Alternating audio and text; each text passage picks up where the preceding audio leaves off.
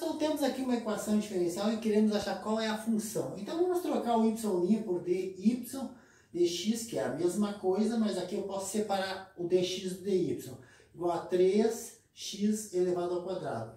Esse dx pode passar para o outro lado, dy igual a 3x elevado ao quadrado dx.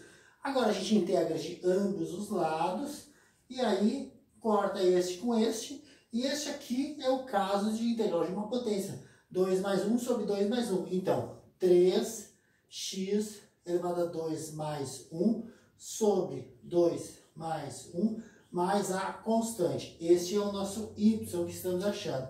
Esse 3 pode cortar com esse 3, que 2 mais 1 é 3.